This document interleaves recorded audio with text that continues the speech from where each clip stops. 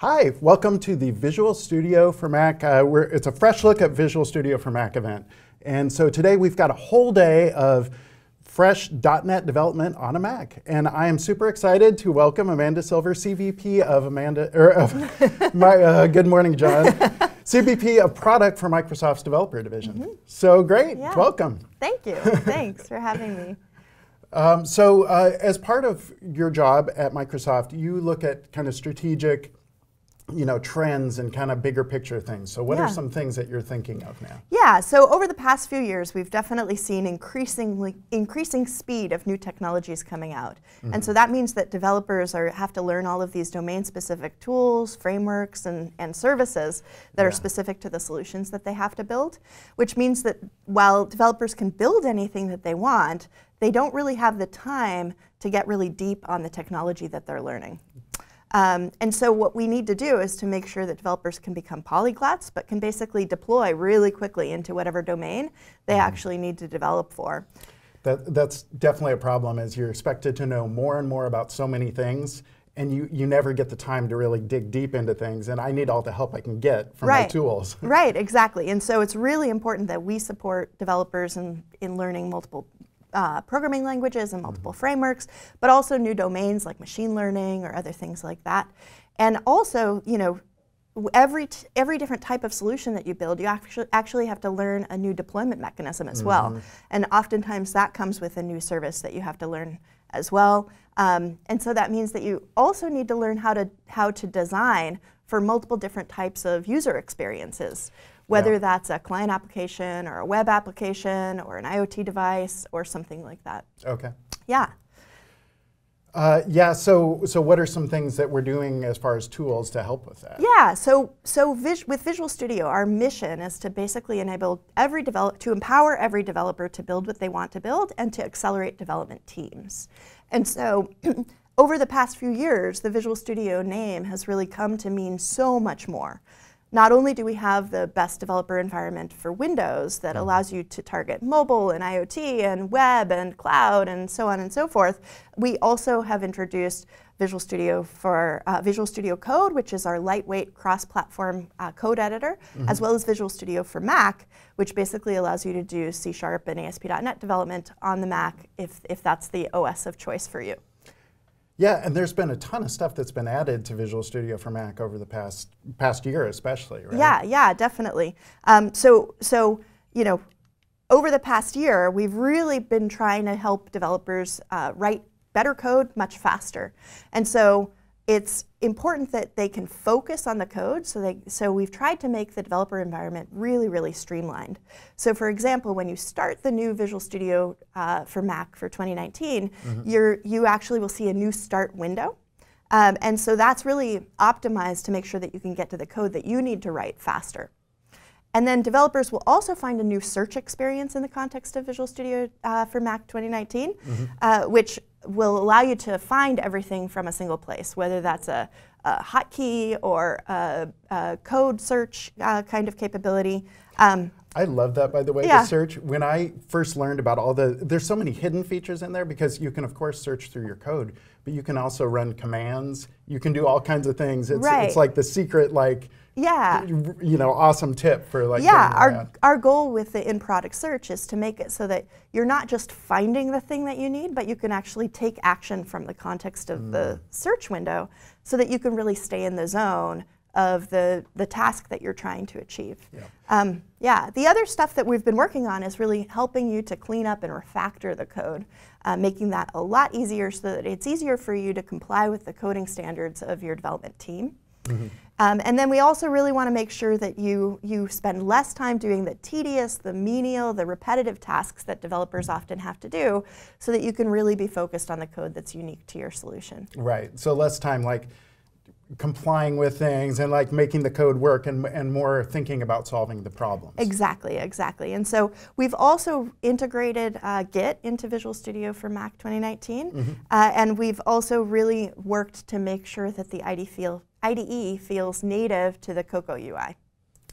So that you know, if you're if you're a Mac developer or you love living in the Mac OS, um, that that it just feels like a natural extension of the operating. So kind of the best of both in terms of like the Visual Studio family of products and the quality and, and the features, but then also like the Mac experience integrating well with the Mac. Yes, exactly. Great. That's that's our goal. But the, but the other thing you should really do if you, if you use this product is to customize it to make it feel yours. So, you know, whatever editor you're coming from before, you probably have some key bindings mm -hmm. that are, you know, you have muscle memory for. Yep. And so, you know, one of the things that you'd want to do is to import them into this environment.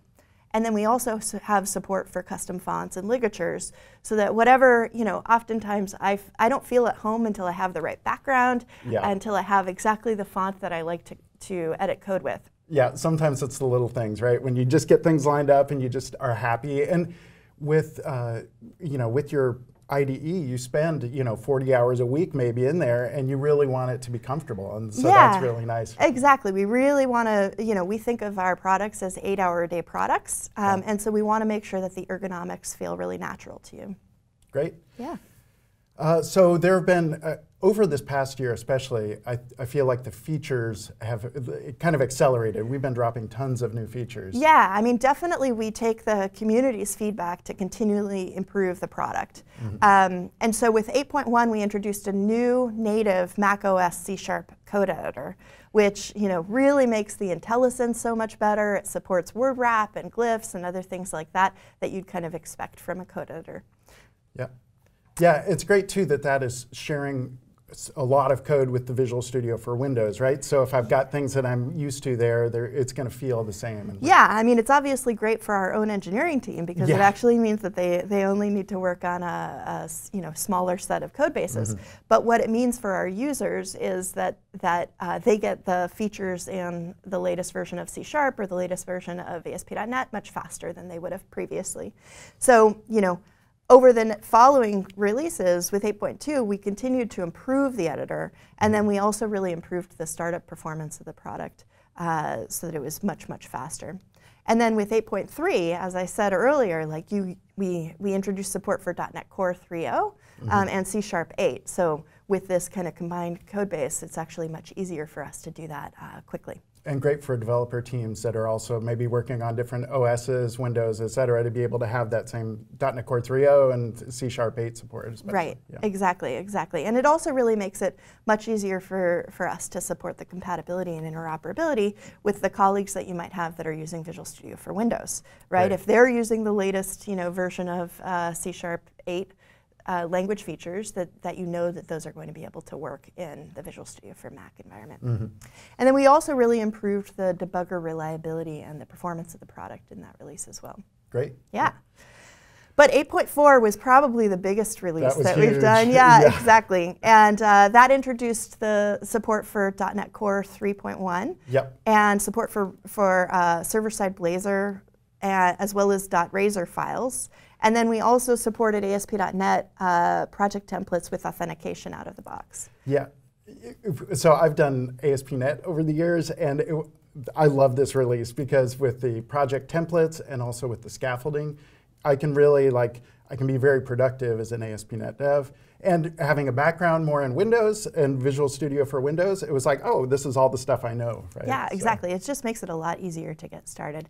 And then we also continually focus on improving the, the inner loop, you know, that, that uh, edit, debug, you know, build mm-hmm. cycle. Mm -hmm is incredibly important. You know, we often refer to it as F5 because that's kind of the, the common hotkey that you might use uh, in, in Windows.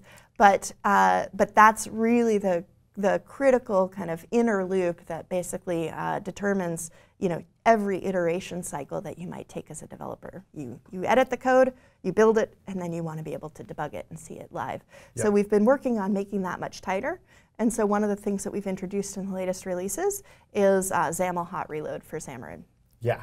Yeah, yeah, it's like magic watching it work, and it, it's it is like you're saying. I can make a change and see it very quickly. Right, so, exactly. Yeah. That's the idea. And then in 8.5, we added support for Azure Functions uh, v3, as well as SPA templates with that have support for authentication built in. Yep. And 8.5 is in preview now, and so I'm already using the previews, which which is great to use these. Um, and then we've got 8.6 coming up. Yeah, we're excited about 8.6, which will be coming in May. Um, but in that release, we'll support Blazor for WebAssembly. And gRPC, which is popular for microservices architectures today. Um, and then we'll also support an integrated terminal. I love that. Yeah. So, so I mean, you know, this kind of just comes back to the theme that we want to make sure that developers don't have to do context switching to other windows, to other applications. The idea of a cockpit style IDE is that you have everything you need right there in that, that application. Yeah, I like that too because I can use built-in, you know, say I'm using Git support, but then I've got a specific Git command I want to run and I just know it. I can just drop to an integrated terminal to do something Right. like that. So, exactly. yeah. Exactly.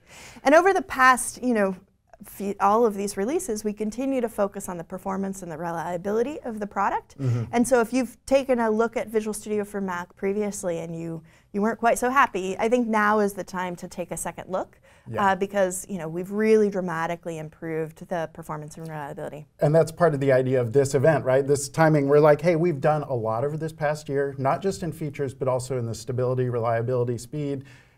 We think it's a good time to take a take a new look at. Yeah, exactly. So we've cut hangs by 50%. We've we have a 200% improvement to the responsiveness of context menus, um, and we've reduced unhealthy sessions, those that hang or crash or other things like that, uh, by about 25%. And then we've improved the IntelliSense performance by 400%. That's crazy. yeah, Yep. so it definitely feels like a much more snappy, responsive environment. yep. Yeah. So in comparing, you know, you've got different options you mentioned before, Visual Studio Code, or some people even are using like a VM with Visual Studio for Windows. Yeah. What are some What are some reasons why you'd want to use Visual Studio for Mac? Yeah, I mean, really, it's the best C Sharp ASP.NET code editor on the Mac. Um, and you know, the result of running natively on the Mac is that you get better battery life, which is super important, Yep. especially if you're a laptop cafe developer. Yeah. Uh, it has the native Mac OS look and feel. And it has better integration with the Mac OS natively, which means that it has support for, for all of the native accessibility features and other things like that in the Like the voiceover Yeah, exactly. stuff. Yeah.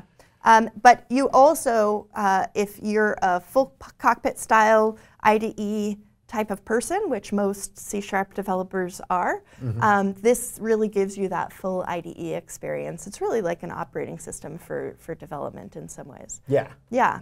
Um, and then obviously it's optimized for .NET Core workloads. So if you're doing the latest and greatest .NET Core development, this is really the, the environment that's going to have the best. And I think looking over those features we've released lately, that makes that pretty clear, right? Like all this, you know, .NET Core 3 and, and C Sharp 8 and all the ASP.NET Core and scaffolding, et cetera. A lot of focus on the best .NET editing experience. Exactly. That's our goal. Great. Yeah. So it's been great talking to you. Um, as we're as we're talking about this, all these you know things that we've done to make .NET developers productive, uh, we also talk to customers, and we we had a great time recently talking to a customer at Ernst and Young, and they've got a really cool um, demo and a story that they'd like to share with us. So now uh, let's cut over to uh, to Aaron and Christos, and let's hear from Ernst and Young's success.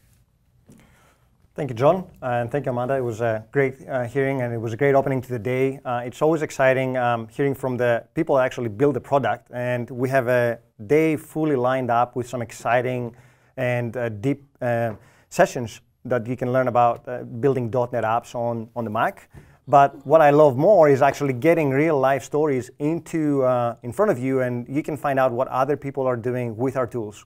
So today we have Aaron from Ernest Young, and he's here to uh, talk to us about all the amazing things that they're building in their company. Well, thanks for ha- thanks for coming today, Hey, Aaron. thanks, Christo. So yeah, I'm from Ernst Young. We are also called EY.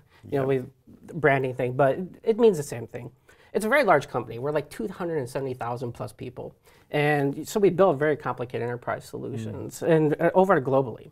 Um, my name, so I'm in the mobile technologies team, and so what we do is we build solutions. Now, mobile technology, you think it'd just be mobile, right? But it's not just mobile. We build web solutions, we build AR and VR. We're the team that leads the drone initiative at EY. Most most people don't know about that, and we do Hololens also.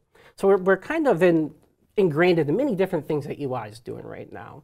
And so we use Visual Studio for Mac uh, for just about almost everything we build, which is a really, really kind of neat thing.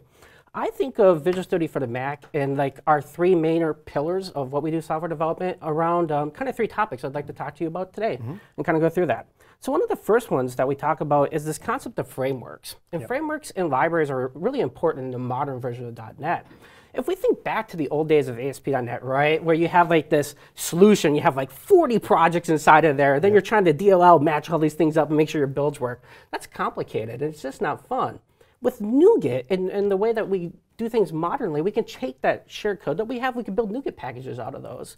And so for, I'll give you an example like in Web API, right? Mm-hmm. You have some models in your Web API project, but you may want to also use those on your mobile app. That just makes logical sense, right? Exactly, yeah. So why wouldn't you pull those out and put them in a NuGet package? And then you can basically um, ship those both in your ASP.NET project and on your mobile app, and you're not writing that code twice, which is really kind of important, or cut and pasting, which is the worst. Developers don't do that.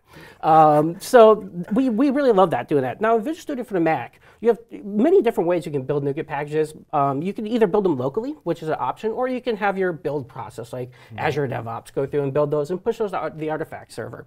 Um, it's flexible in its way to do that. So we could talk about this, but I'd like to show you a demo instead. Absolutely. So let's just go ahead and switch over here, and hopefully the demo gremlins don't kill us here.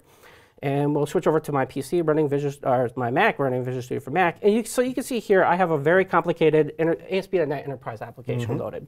Um, this is our app. It's called Team Connect. Okay. And so you can see here, this is what I was talking about in ASP.NET. Here's like, if you look over here on the left side of the screen, you see all these different projects and solutions. But the one I want to focus on right now is the models project. Yep. So this is our ASP.NET models for Team Connect. And we can basically right click on here, and there's an option now for pack and publish. Mm -hmm. Those are the new NuGet integration features. So if you want to turn your DLL into a NuGet package, it's really, really easy. Great. You basically um, check a box, and it'll turn itself into a NuGet package. And then if you want some customizations to your NuGet package, you build something called a uh, nuspec file.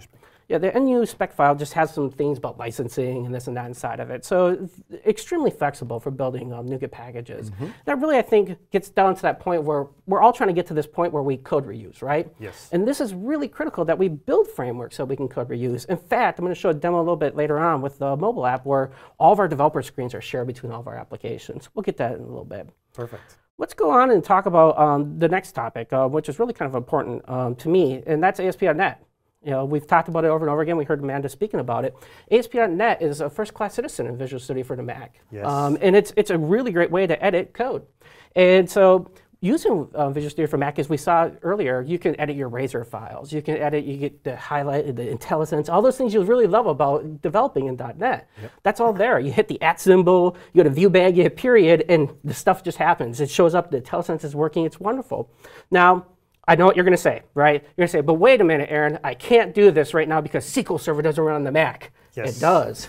It does with Docker. So SQL Server was ported to Linux a long time ago, a couple years ago. That's a long time in internet terms, right? Yep. But basically, SQL Server runs in Docker and Linux, so you can run that. I have it running locally on this Mac right now. So you have and your local environment with your project, very small inner loop. You go quickly and absolutely. If I want to talk to SQL Server in Azure, I can do that. But if I want to debug locally, I also can do that. What about managing your database schema? Oh, so that's another good question. So usually you'll say, well, there's no built-in support for that. Wrong. So Azure Data Studio is a new product that Microsoft ships that allows you to edit your databases. And it's really kind of the replacement for SQL Server, SQL Server Studio Management. That's yep. the name of the product. Yep.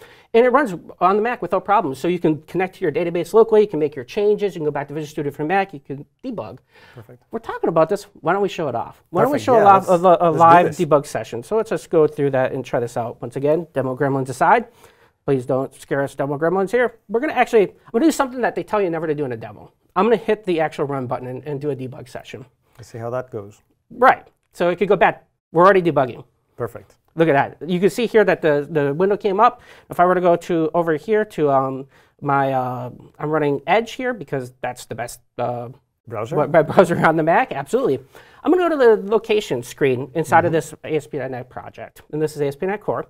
And I'm going to edit some live data just to prove that SQL Server is running so on this, this is, machine. This is an actual application that you're this running, is a demo real, right? Yeah, this is a real application I'm running locally. You can see localhost port 8080. So this is running the latest .NET Core, and this is the server that's running on there. I'm going to edit some data because why not? Why not? right, exactly. Li live coding. Live, live coding. This is important debugging. So I'm going to hit the, just type the word live in here.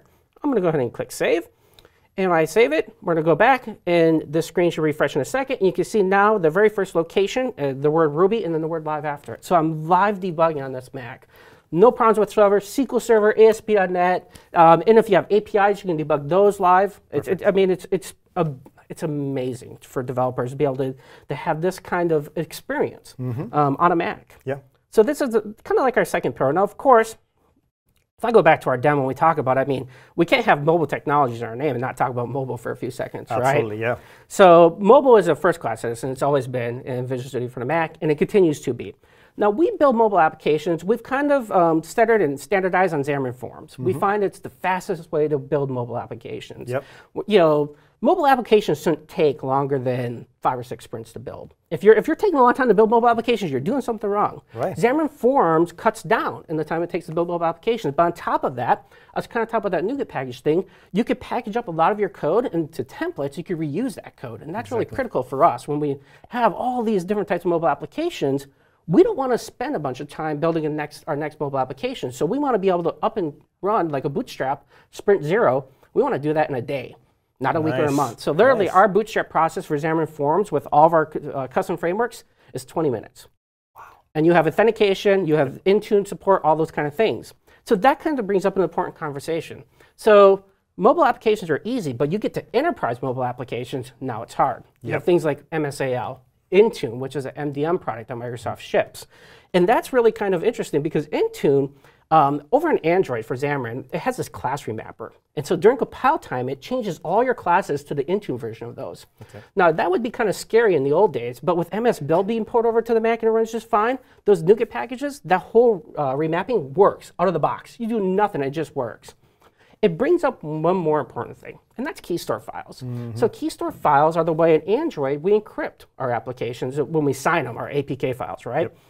Most people don't know this, but a debug build will just dynamically build a, uh, a NuGet package, or excuse me, it'll build the APK, and it just builds a key store file Right. uh, out of the loop, right?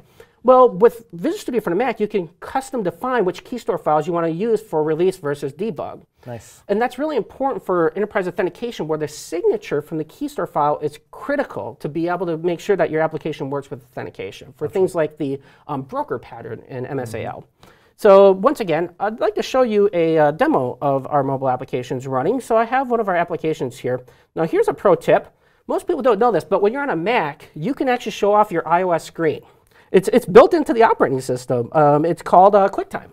Right. And so in QuickTime, you launch that, and all you have to do is change your camera to your phone, and you can demo your iOS application. So this is a real live enterprise uh, applications our shareholders use, and um, this is uh, for Germany, Switzerland, and Austria. It's called the GSA region. Right.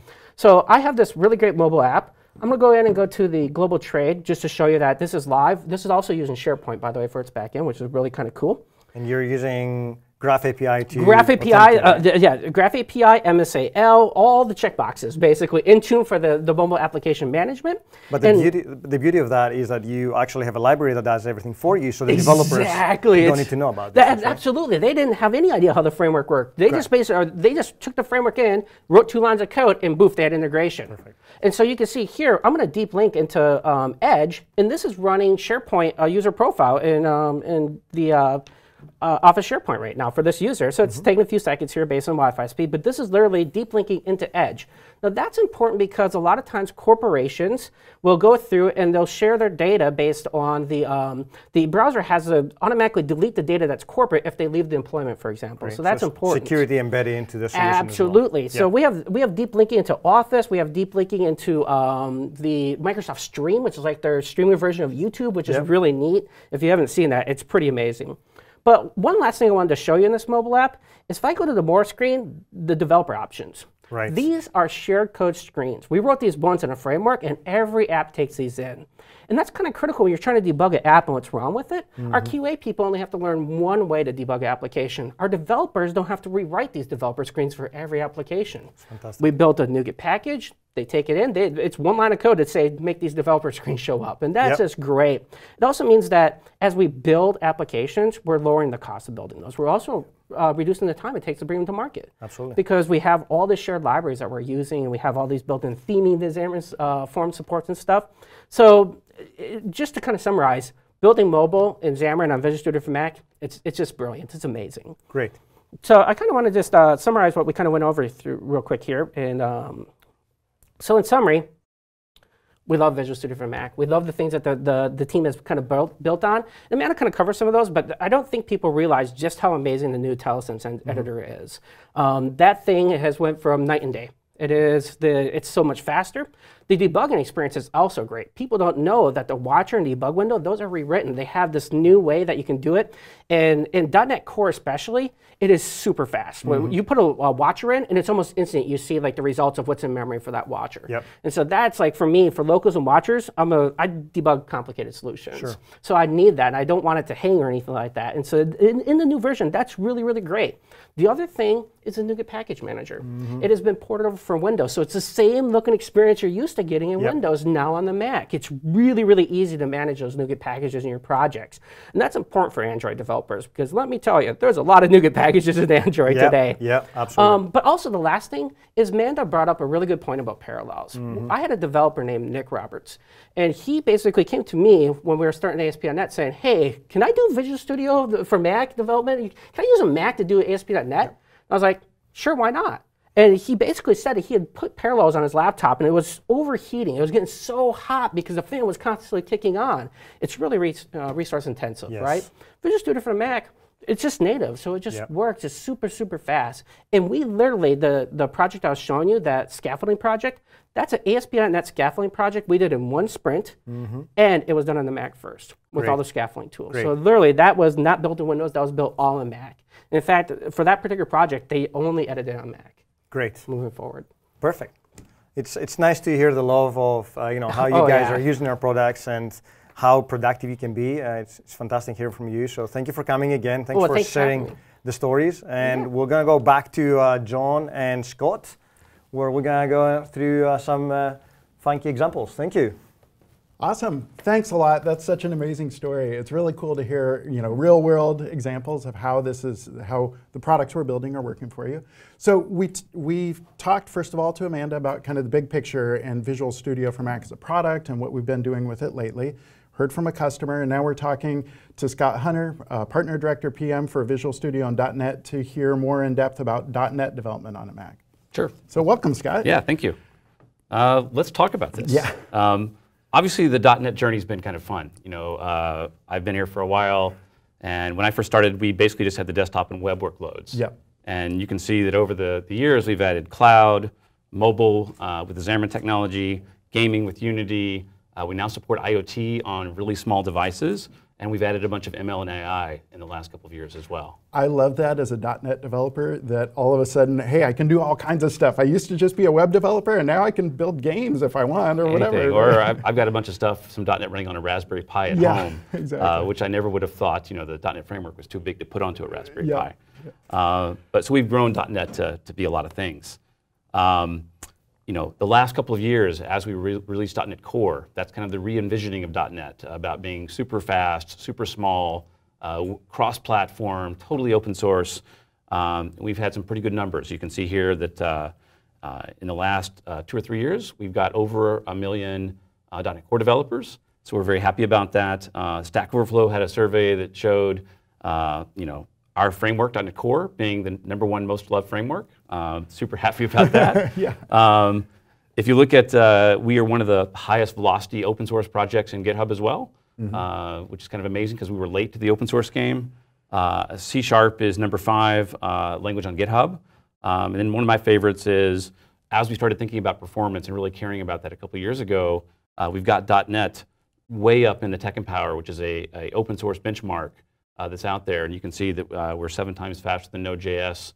Uh, and we're faster than a lot of tech, actually. I've loved watching the numbers just move up on the TechEmpower benchmarks. It's, it's amazing. And we have some crazy customers running us at scale uh, because of those numbers. Um, Wow. so uh, uh, this is a slide with a with a bunch of uh, of our big customers.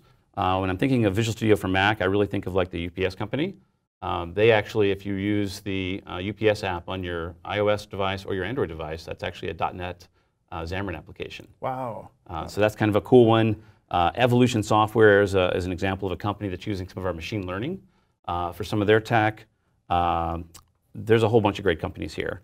Uh, Setpoint is one that's using containers uh, on Linux uh, with .NET Core. And so you can see a variety of cool tech here like Tencent. Uh, you know, that's a Chinese mobile app. Uh, all the payments go through a .NET Core app on the back end when you pay with your phone. Um, so, you know, .NET's in a lot of, a lot of places. Yep.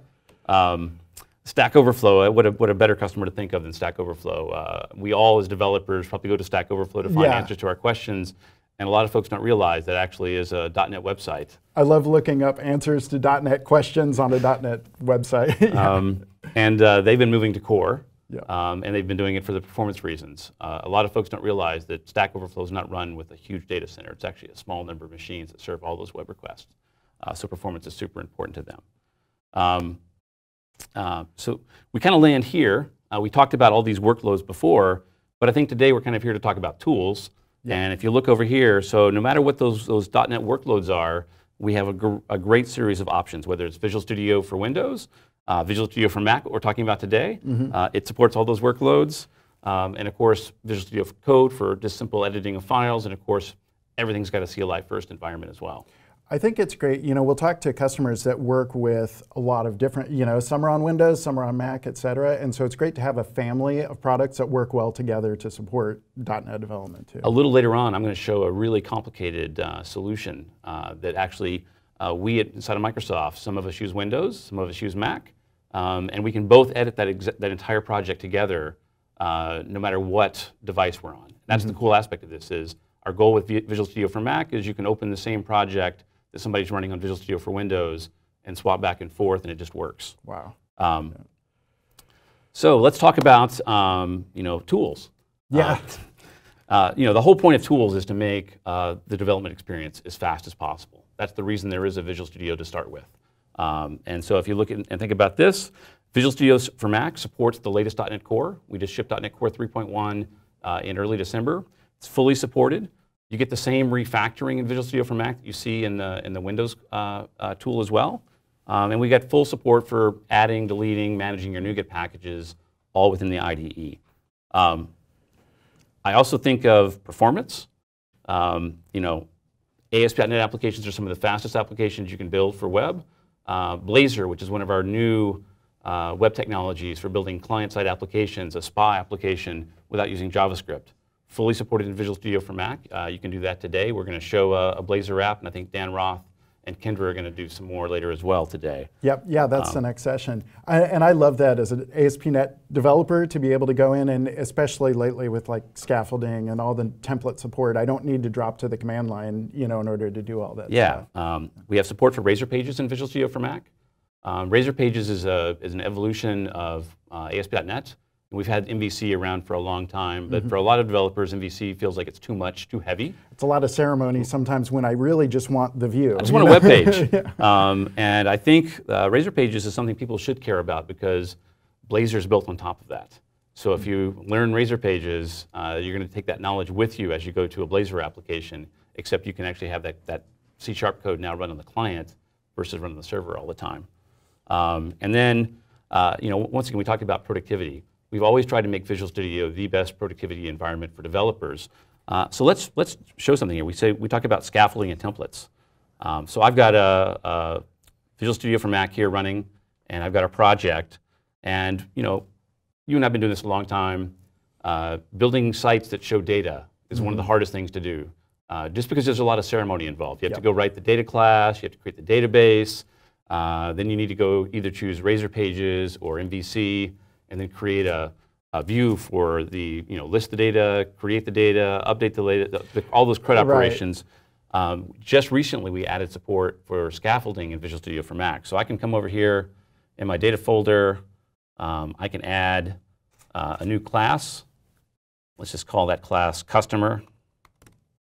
Um, there we go. And you know, if I'm going to use Entity Framework, uh, it's all based on what we call POCO objects. And so I just need to make an object that actually uh, can be used for my database. So all I would do here Can you is, zoom in on that? I think yes, I can, I can, Plus or something. Yeah, Yeah. There you go. Um, and so once again, I'm going to use the same features I would use in VS. Prop uh, tab. I'm going to say I want to make that an int. I want to make that my ID because in my database everything has to have an ID. And I might do prop string, and that would be first name, and then prop string, last name. And so I've got my object here. Um, and then what I'm going to do is I'm just going to build the application real quick. And then I'm going to go to my controller folder, and I'm going to right click and I'm going to say add new scaffolding. And I can select down here, I want an MVC controller with views using Entity Framework. I'll press next. I'll select my model class, customer. I need a data context, my data context. And we would probably call this, uh, what, a customer controller, John? Sure. and then I'm done. Um, it's going to go out and find the NuGet packages that are required uh, to do all this For the database for the access. database. It's going to create my database context for me. Uh, that's the mecha- mechanism that tells Entity Framework about this customer object. Mm-hmm. Um, it's then going to go to my uh, views folder in a second, and it's going to go add all the views for me, and I can zoom in over there as, as we do that. Um, let's wait for it to come up here. And in the past, I could do this with .NET Core on a Mac, but I would need to drop to the CLI. You have to go order to command line. Yeah. Um, and we want to keep the visual in Visual Studio. Yeah. And so uh, this is now all, all, you can do all of it right directly in the product. Uh, once again here, you can see my view folder here. I can open it up. There's now customer. All the views are created for me Yep. automatically.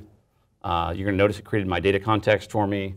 Um, at this point, I could just go run the migrations, run the application, and it'll just come up. You're all set. Um, yeah. and, and because it's Visual Studio for Mac, uh, while you can use SQL Server in a container, um, this application it automatically added SQLite for me as well. And so this will run as is on the Mac without installing anything else. So part of the tools. I love that. Yep. Um, let's go next and, and talk about obviously cross-platform. You know, I talked about UPS earlier, um, and so uh, you can use .NET to build native iOS and Android apps. Um, you can also use .NET to build what we call a Xamarin Forms app, uh, which is kind of the, the ultimate reuse, where you basically build an app one time, and that app can run across a variety of devices, both the iOS, Android devices, and even the Windows device. so common XAML for my UI and work across all of them. Yes. Uh, uh, you're going to see a little bit later on, we're going to demo some of the, the Xamarin Tech. Um, it hooks up all the stuff for me. It puts all the emulators on. I can literally uh, just you know start the application and boot it up into the Android emulator or the iOS emulator, um, or I can plug a device in and easily get it running on my own, own device. Um, we do all that work for you, so that's part of the part of the cool part of the tools. Um, and there's some there's some new tech in here which I might try to show, which is called Xamarin Hot Reload. Uh, and the goal here is to once again productivity. We want to make you as fast as possible. If you change your XAML, you don't have to restart the application.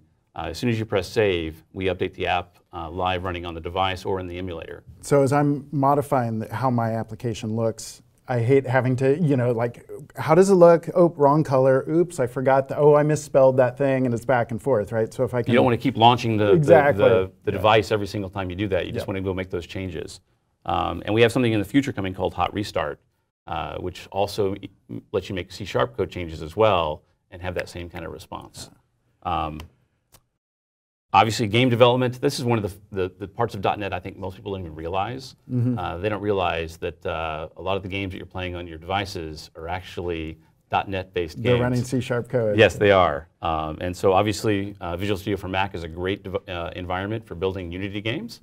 Um, so if, if anybody sees, uh, as you're running an app, and you see it show a Unity logo or something, uh, realize that's actually probably built either in Visual Stu- in some form of Visual Studio on a, on a device. You know, it's fun talking to sometimes to younger coders and like my kids. They want to build a game, you know, and it's like, hey, you can do that, and we'll sit and we'll build a Unity game. It's really cool to use C sharp skills to do that. Yes. Um, and then obviously uh, uh, cloud development. Um, So you know, uh, cloud is a big part of uh, web applications today. I think. Yeah. Um, and so uh, we have great support inside of Visual Studio for Mac for building cloud-based applications. It's very easy to publish to Azure. Um, it's actually very easy to right-click and add Docker support to an application. Then you can run it locally uh, on Docker, and then you can publish those containers to the cloud as well. Um, so we've got a great, uh, in fact, let's just jump back to that app we were just showing before. Um, I can right-click on the app, and I can come over here and say Add, and there's Add Docker Support. Just built right in. Built right in. I add that. Uh, So I don't, I don't need to spend the time going out, look up the docs. Oops, I forgot how to set up my Docker file and all that. I can just right click and add the you right, Docker. you right-click, Add Docker Support. We'll add the Docker file for you, um, and we'll also hook. We'll also do all the magic as well. So when you actually run the app inside of uh, Visual Studio for Mac, it will actually launch the app in the container.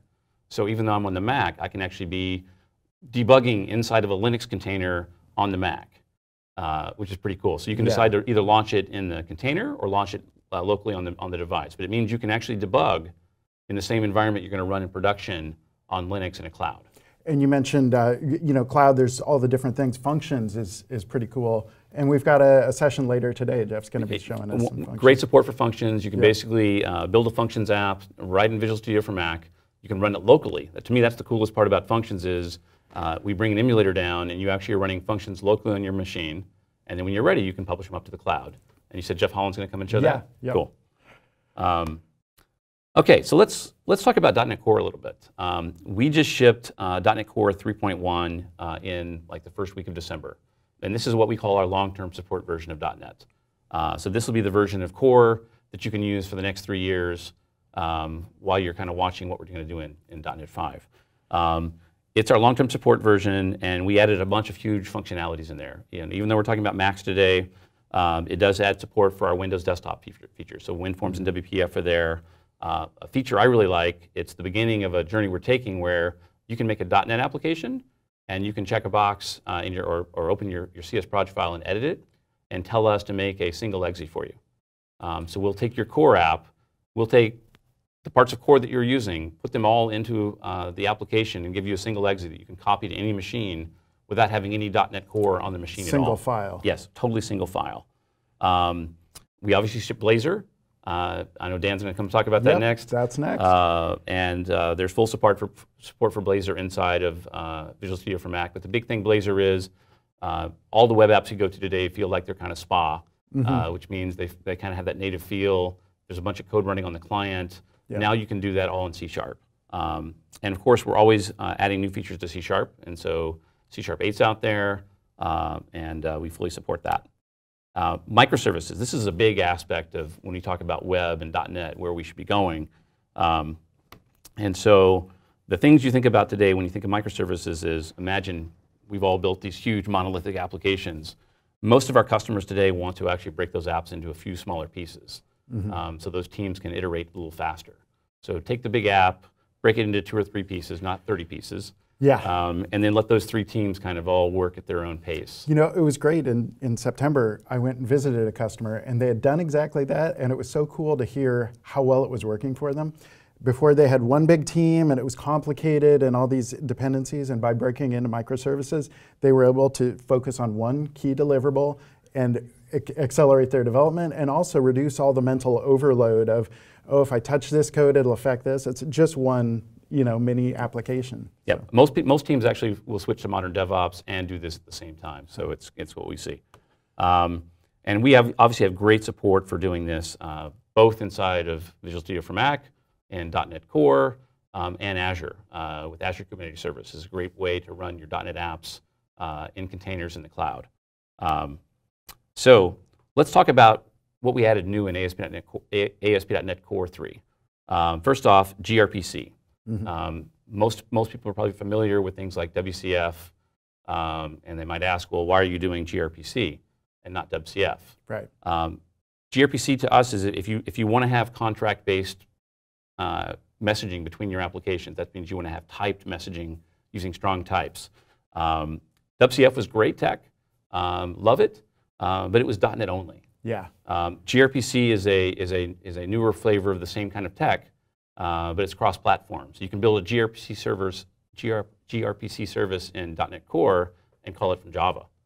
Um, or vice versa, you could have a Java gRPC service and you could call it from C, from C Sharp. And there's already gRPC services out there on all these different platforms, and now I can interoperate with them from .NET Core. Yeah. So that we built that in as a, as a new feature. Um, there's tools both on the command line and the, in the IDEs to do this.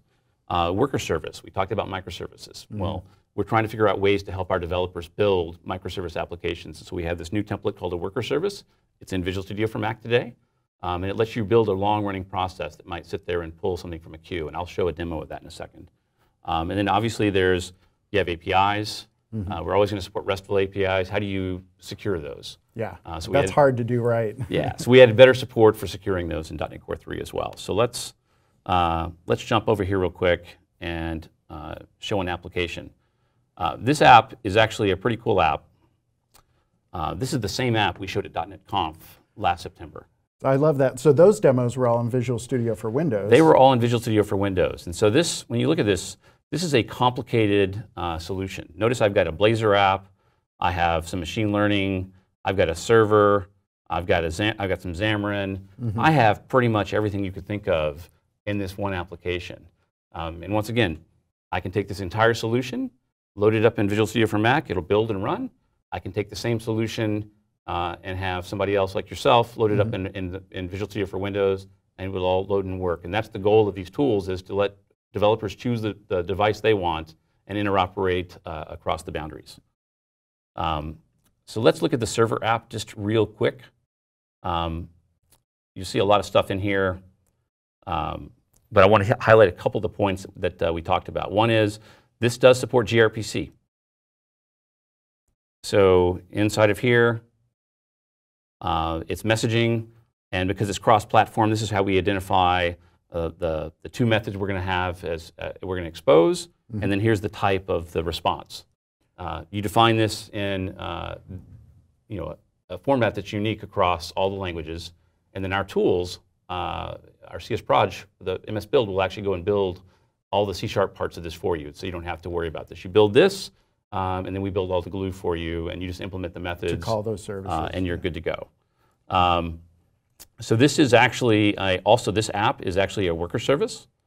Um, so if I lo load in here, you can see this is a, a worker. Um, this is that new type of app we just talked about that we have uh, in .NET Core 3. Mm-hmm. Um, and you can see it's basically got a method called execute async. This is the long running method. And you can see it's like, while I'm not told to stop, run. Um, and in this case, what we did is it's a microservice that goes out to uh, AccuWeather, uh, calls their URI, uh, grabs the weather, caches it. Yeah. Um, because you can only call uh, AccuWeather so many times per hour, per minute. Uh, so we then cache it. Right. And then we expose a gRPC and a REST endpoint for that. Um, this is an awesome feature of uh, VS for Mac that we don't have in, in VS for Windows. I can go to Tools, and I can say Open in Terminal, and we'll just go and open you a terminal right in this, the, the folder of the app, and I can do a .NET Run, and now my microservice is going to boot up and start running. Now, this is not super exciting. We're going to go back to slides for a second, and we'll come back and we'll show some clients that run against this. Let me go back here.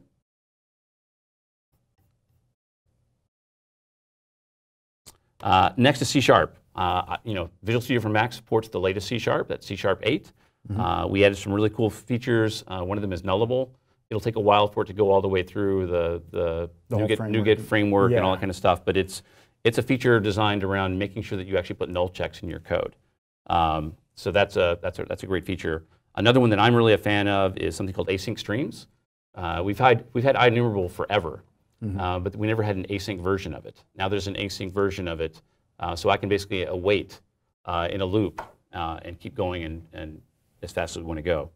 Uh, and then obviously there's a whole bunch of other features around using patterns and read-only members and stuff like that. There's a whole pile of, just, just Google C Sharp 8, yeah. and you're going to find a lot of there's cool a stuff. in there all supported on the Mac.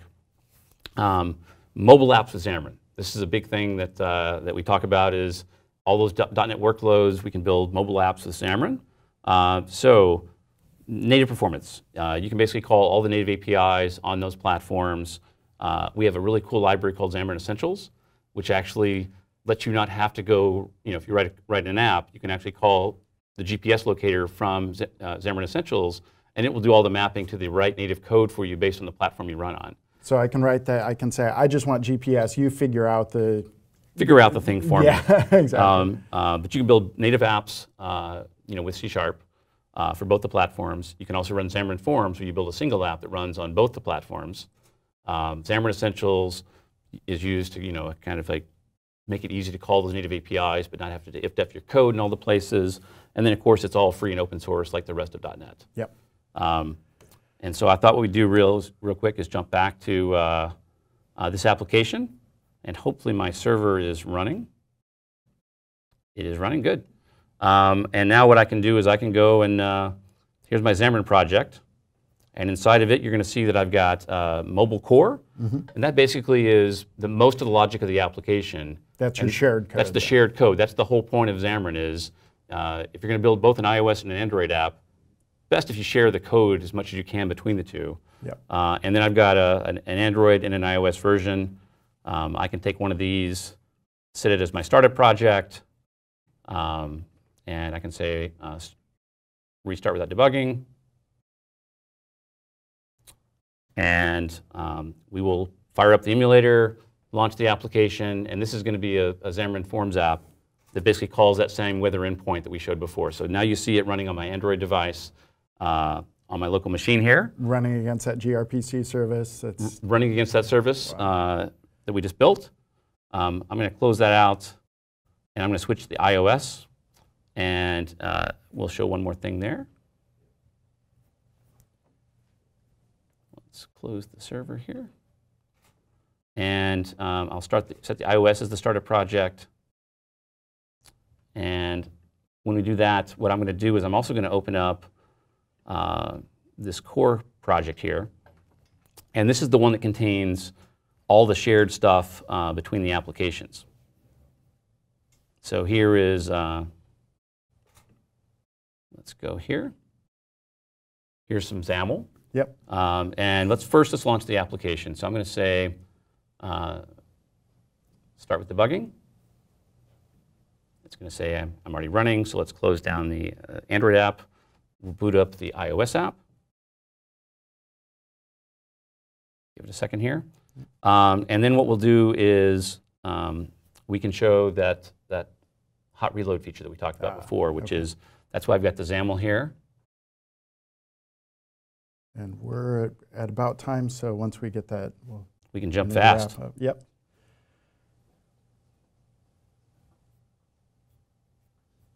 Actually, let's I see it coming. While we're waiting for the emulator to come up, why don't we jump back and finish the Yeah, slides real quick? yep. Um, web apps with Blazor. Uh, Dan and Kendra are going to show this next, so I'll, I'll skip through this. But Yeah. uh, uh, it tries to take my machine back over. um, Yeah. The idea here is you can build uh, awesome client-side applications without having to use a, a third-party library like Angular, React, or Vue. Yep. Um, so, uh, but you get the, you get the strong type of C sharp. You get the single tool chain. Uh, we don't version as fast as those people are, so uh, uh, lets you stay kind of in sync faster. Uh, we'll skip that demo.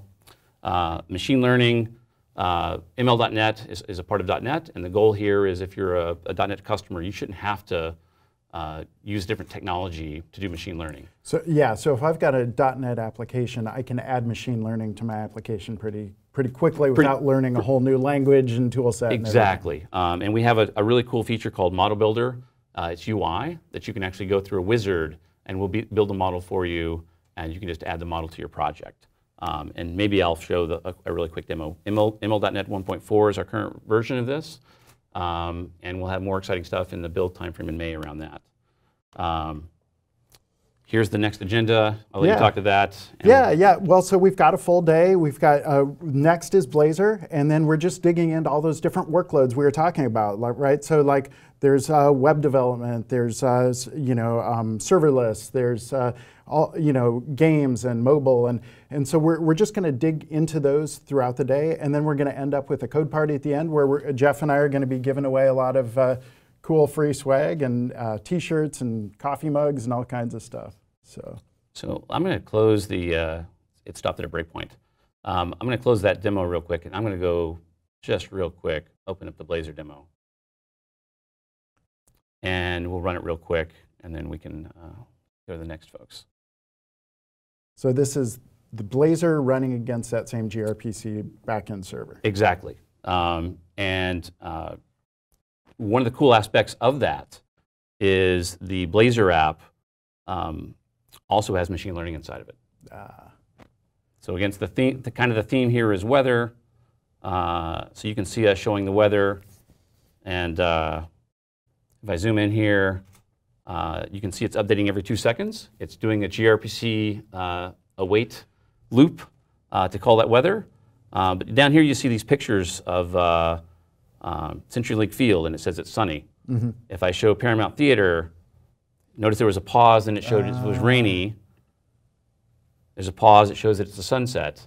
That's using ML.NET to take images and throw them at the uh, ML.NET and it tells you what it thinks it is. Wow. Uh, so this is a model that we built, um, and everything that I'm showing, all these samples, they will be available after the event today. yep. Um, so let's quickly jump back to your slides. Yeah. And uh, Yeah, so thanks a bunch for digging into all the, the .NET stuff. Yeah, so we've got a full day. We're going to be going to Blazor next. And um, so, you know, here's, here's your next stuff. Download Visual Studio for Mac. And then we've got a, a series of 101 videos you can check out today. And we also have some great learning material and uh, with uh, Mac tutorials where you can dig right in. So thanks a lot, Scott. I think we can hop right over to the Blazor show.